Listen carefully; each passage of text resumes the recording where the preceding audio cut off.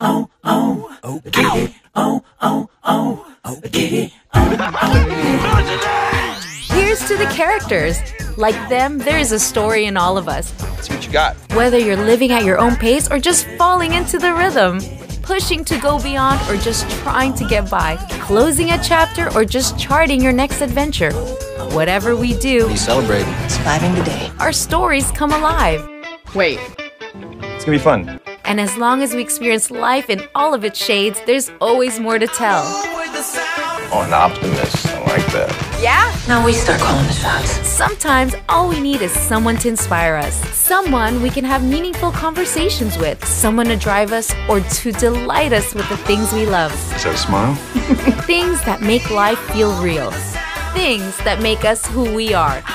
This is what we're all about. because of you, inspired by you.